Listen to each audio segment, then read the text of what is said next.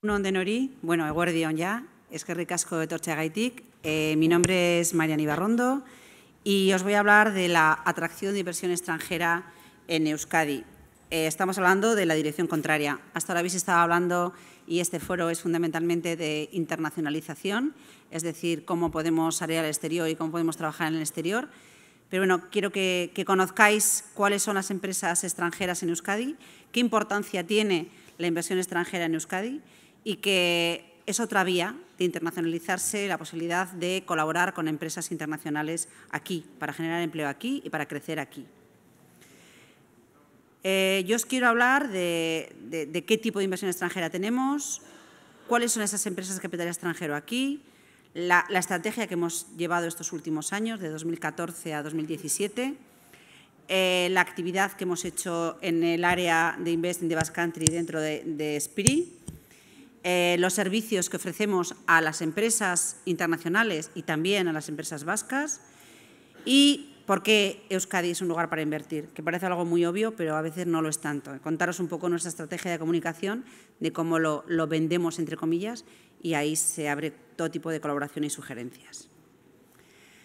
La inversión extranjera directa en Euskadi. Eh, veis una gráfica con muchos eh, puntas de sierra. es eh, muy aleatoria en, un país tan pequeño como el nuestro, con dos millones de habitantes. Hay grandes operaciones que se generan grandes picos y que desvirtúan un poco de alguna forma la, trayectoria que ha podido tener la inversión extranjera en los, últimos años. Eh, quizás lo más interesante son estas medias, eh, que cómo va creciendo de los años 90 hasta ahora. Y para que os hagáis una idea, si en los últimos seis años Hemos hablado de 6.500 millones de euros. En los seis años anteriores eh, estábamos hablando tan solo de 2.900 millones de euros. Es decir, hemos más que duplicado la inversión extranjera en Euskadi en estos últimos seis años. Eh, es mucho más estable, están viniendo ya eh, flujos de inversión mucho más claros y más dirigidos y el crecimiento que hemos tenido ha sido muy grande en estos últimos años. Han sido de un 10,5% de crecimiento frente a otras zonas como Europa o como el mundo que ha sido mucho más pequeño el crecimiento. Nosotros hemos pasado ya, eh, de alguna forma, en lo que puede ser el indicador de la atención extranjera con la crisis. Estamos por encima de, datos que teníamos eh, previos a la, crisis. Todavía no sigue siendo muy importante dentro de nuestra economía. Estamos por detrás de Madrid y de Barcelona y si estamos hablando de que en España la media puede ser un, un 2 eh, un 2,5, nosotros andamos con un flujo de inversión bruta de un 1,5. ¿Qué tipo de empresas, eh, cuál es el flujo de entrada bruta, en qué sectores entran fundamentalmente? Bueno, pues el sector principal es el sector de la manufactura, con un 51% de empresas en este periodo que han entrado en este sector, la fabricación, la fabricación avanzada fundamentalmente, frente a datos muy significantes que teníamos en los años anteriores y eh, también considerar como industria a todo el suministro de energía y electricidad, que también es eh, importante eh, en Euskadi. Frente a otros países en los que los servicios son los más importantes, en nuestro caso es la industria manufacturera la más, la más importante. ¿Qué tipo de industria manufacturera?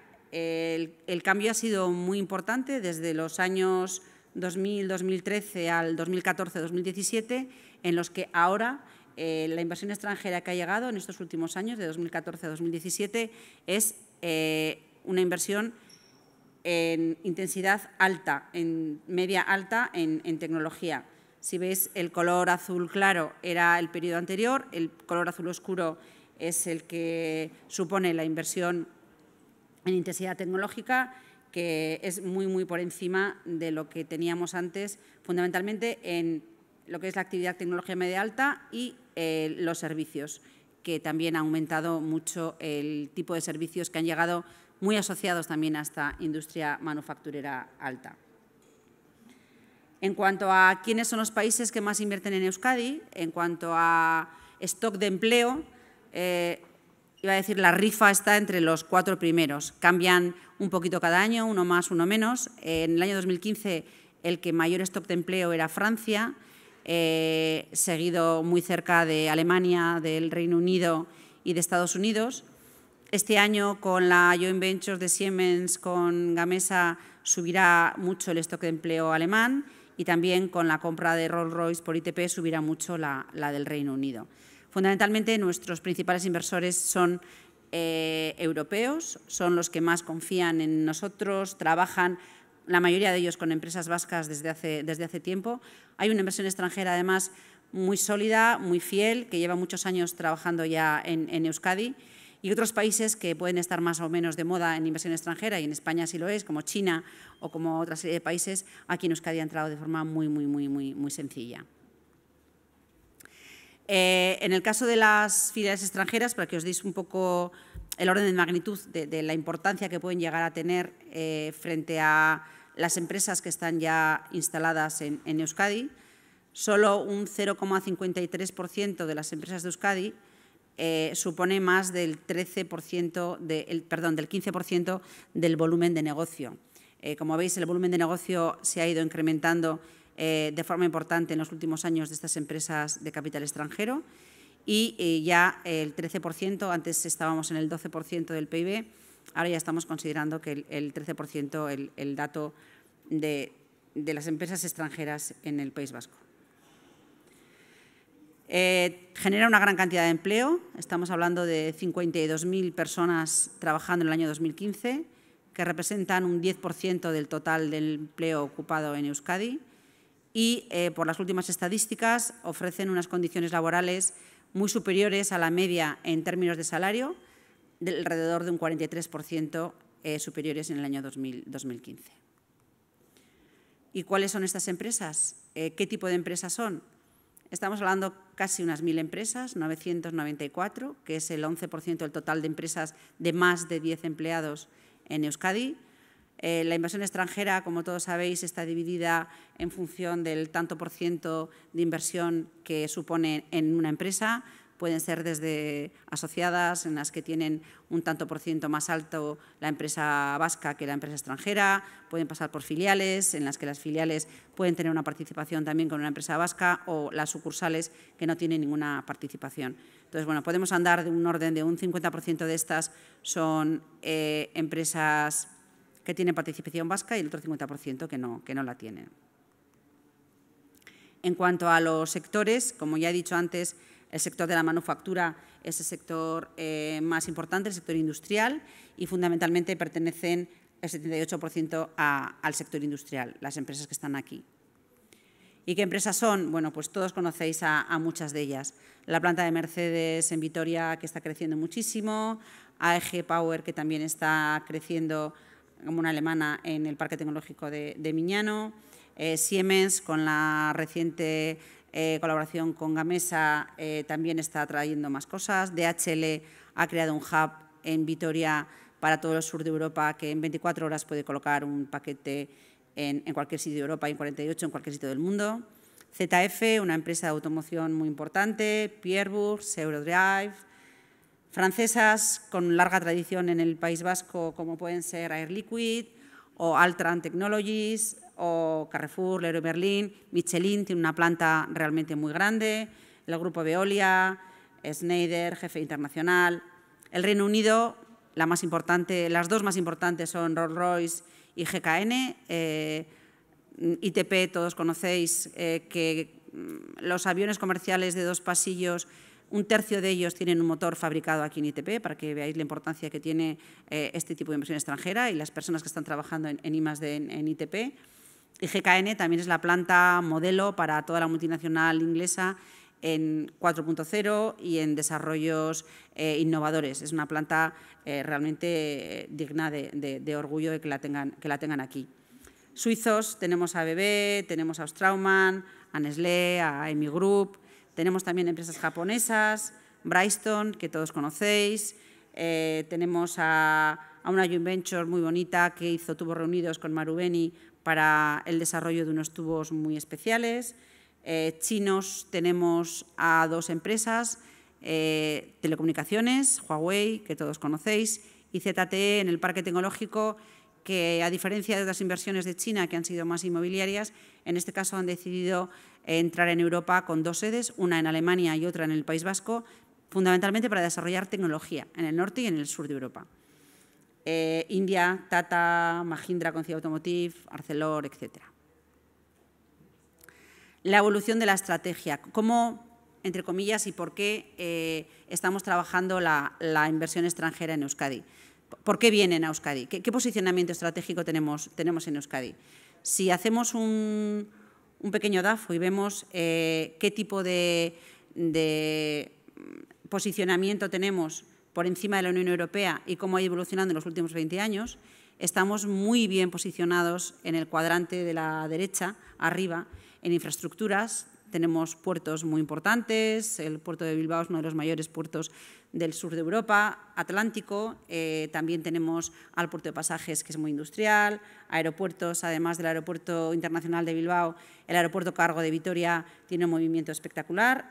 Eh, la fiscalidad, ahora las haciendas vascas han cambiado, van a cambiar la fiscalidad y vamos a estar en posición muy beneficiosa en el tipo nominal respecto a lo que teníamos antes, que eh, estábamos más alto que el resto del Estado español.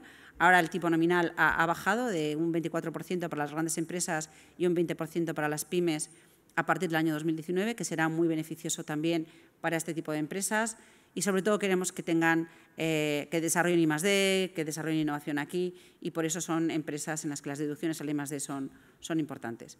La cualificación es realmente eh, digna de reseñar, casi un 50% de los vascos y vascas tienen una titulación superior. Eh, las exportaciones, esta mañana lo hablaba la consejera y Andarzábal, que estamos muy por encima de nuestro tamaño en empresas exportadoras.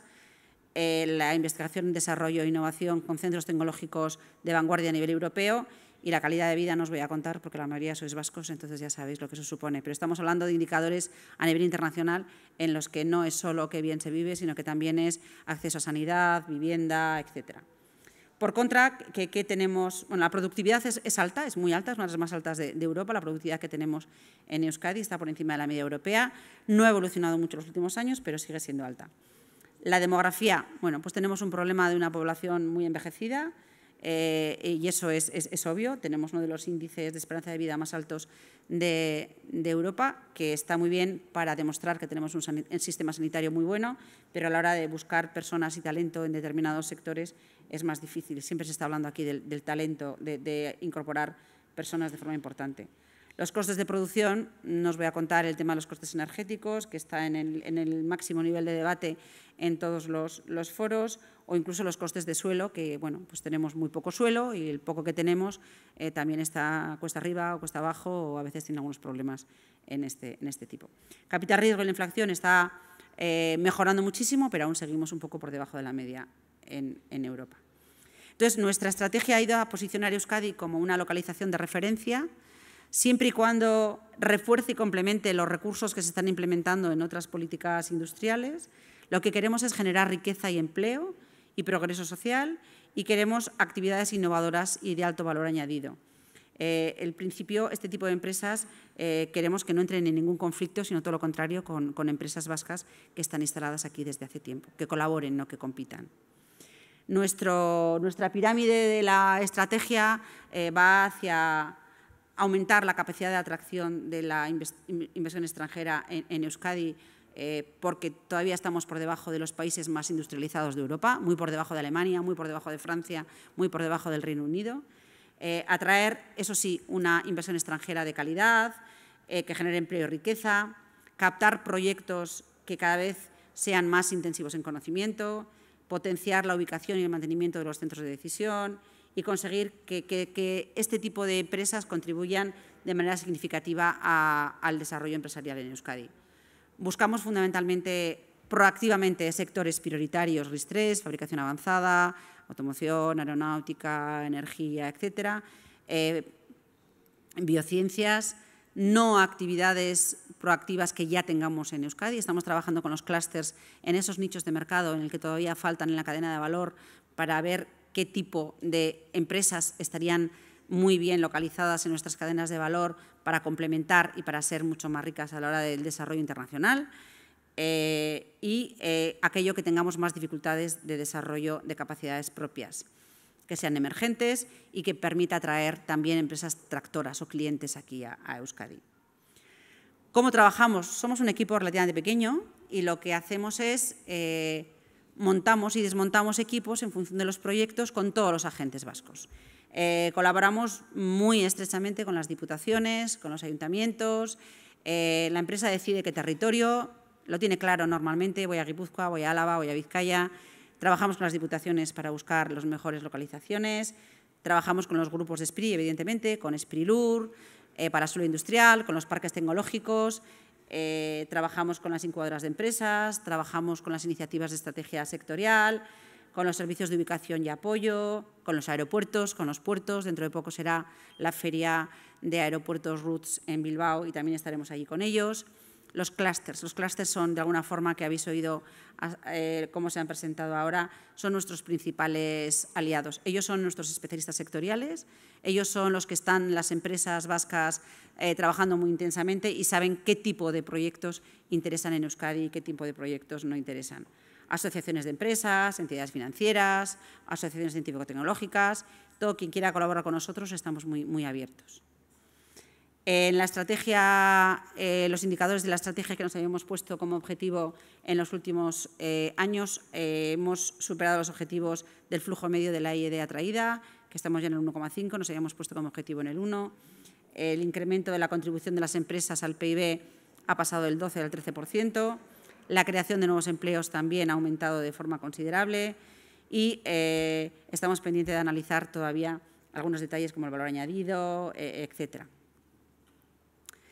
¿Qué hemos hecho en, el Departamento de Investing de Basque Country de eh, Gobierno Vasco dentro de la SPRI? Bueno, pues hemos trabajado con unos 70 proyectos anuales, más o menos, 216, eh, de los cuales se han materializado 62. Hemos es decir, es un ratio relativamente alto en el sentido de que, de que hemos trabajado proactivamente intentando atraer proyectos, pero podríamos trabajar con más proyectos y los proyectos de éxito han supuesto 334 millones de euros de, inversión y ha supuesto una creación de empleo, de empleo nuevo de 1.329 empleos y de 2.637 empleos mantenidos, que si no hubiera venido la inversión extranjera se hubieran, se hubieran ido de Euskadi. ¿Qué tipo de proyectos han venido? Eh, la mayoría han sido lo que nosotros llamamos recurrentes, es decir, no grandes proyectos eh, en términos de inversión y empleo, pero eh, la singularidad de los proyectos eh, es significativa. Un 35% de los, de los proyectos son singulares, es decir, eh, son proyectos importantes, tractores de país, que generan riqueza y empleo. también hay que tener en cuenta que los sectores prioritarios, tanto en proyectos recurrentes como en proyectos singulares, un 20% de cada uno, son un 40% de los proyectos con los que hemos trabajado. Por tanto, también es un porcentaje muy, muy alto. Y la finalidad de los proyectos, pues la gran mayoría, el 56%, han sido proyectos de planta productiva y también hay que destacar como importante las unidades de I+.D., que aunque han sido un 18%, eh, realmente es muy alto que hayan venido unidades de I+.D. de empresas internacionales. ¿De dónde han venido? ¿De dónde hemos gestionado estos proyectos? Bueno, seguimos moviendo este, estos cuatro países, Estados Unidos, Alemania, Francia y Reino Unido, que son los proyectos que más hemos trabajado con ellos y en cuanto a los que realmente han, llegado a Euskadi, quizás eh, en este último periodo ha sido Alemania con un 17%, seguida de Francia y Estados Unidos más o menos a la par y, Reino, y Reino Unido. ¿Y por qué vienen? Fundamentalmente por proximidad a mercados. Cuando hablamos de mercados, hablamos de una definición muy amplia de lo que es el mercado. Es decir, el mercado desde Euskadi se puede trabajar en el resto del Estado español, desde Euskadi se puede trabajar en el mercado internacional fundamentalmente en Latinoamérica, y pueden trabajar, y es nuestra voluntad, con empresas vascas que de alguna forma también les lleven de la mano en, el tema internacional. El entorno industrial es también uno de los factores eh, realmente de importancia, la oportunidad de la inversión, que siempre al final esto no deja de ser un negocio y tiene que serlo siempre, y las capacidades científico-tecnológicas del país que se, que se valoran de forma, de forma importante. Algunos ejemplos de proyectos que hemos trabajado con ellos y que hemos movido, pues desde el tema de DHL que os comentaba antes en el aeropuerto de Foronda, que tiene el hub para el sur de Europa, la joint venture entre Marubeni y Tubos Reunidos, eh, una empresa de tecnologías de la información y ciberseguridad S21SEC, eh, una ingeniería Fairchild, eh, una empresa de terapia génica muy innovadora a nivel internacional con tecnología de Estados Unidos, Viralgen, una empresa farmacéutica Roxal que gracias a las capacidades que ya existían aquí en una empresa anterior monta la única planta de producción que tienen en Europa, Precicas del grupo ITP que también está creciendo, Bolton, Trafag, una empresa suiza que se dedica a temas de precisión, eh, Dana Era Cardan, que lleva muchos años en Euskadi implantada, pero que gracias a la labor del equipo directivo que está en Zumaya han conseguido que traigan más proyectos y que crezcan en estos últimos años. El grupo Veolia, Rock, Icor, etcétera. Estos son unos pequeños ejemplos de los proyectos que hemos, que hemos movido. ¿Qué ofrecemos desde Invest in the Basque Country? Bueno, pues ofrecemos información especializada previa. Cuando alguien viene, no nos conoce, eh, no conoce cuáles son nuestros sectores. Trabajamos con los clústeres para darle información detallada de qué oportunidades de negocio tienen en Euskadi en estos sectores. Eh, trabajamos en todo lo que tiene que ser la, implantación de la empresa, pues desde ayudarles con despachos de abogados que existen para implantarse aquí, ayudarles con temas de regulación, presentarles temas fiscales, otras administraciones, desde la ANVIDE al Departamento de Educación, formación profesional. De alguna forma, trabajamos como esa ventanilla única, a mí me suele gustar ser un poco la alfombra roja. No, damos, no tenemos ningún tipo de ayuda, no tenemos ningún tipo de subvención que no demos a otra empresa vasca, pero lo que sí hacemos es llevarla de la mano en nuestro entramado institucional y empresarial para que ellos eh, conozcan mejor un territorio tan pequeño como el nuestro, comparando con otros territorios internacionales, para ver cómo, cómo pueden trabajar aquí.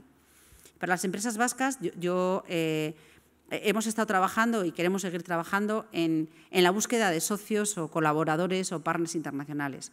A veces, cuando se plantea la internacionalización, se necesita tamaño, se necesita volumen de negocio, se necesita conocimiento y otra vía, ¿por qué no?, es una joint venture con un partner internacional en la que se pueda trabajar en, las dos direcciones. Ellos pueden abrir un mercado internacional y eh, la empresa internacional puede eh, apoyar financieramente a la creación de empleo y al desarrollo en Euskadi de estos, de estos proyectos.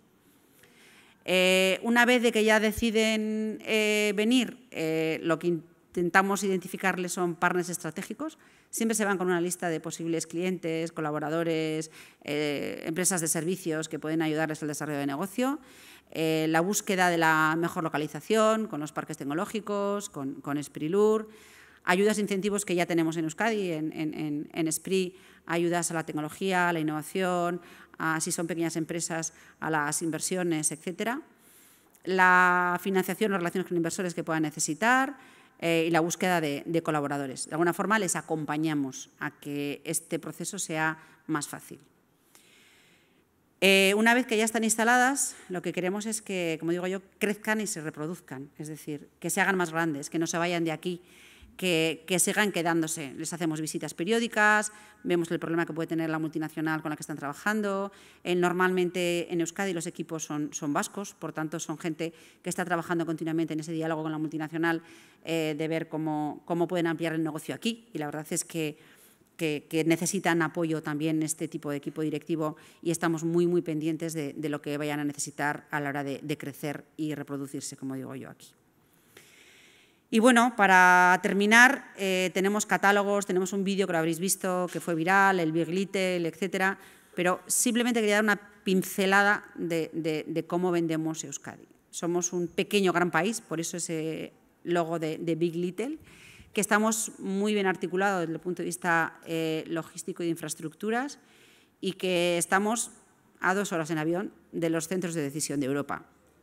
Más o menos dos horas. Vamos a poner el el, número cerrado. Vosotros conocéis lo que se tarda en, volar a Londres o a Frankfurt o a, París, pero bueno, e, este es... Eh, no, estamos tan lejos, no estamos tan en el sur, estamos mucho más centrados de lo que parece.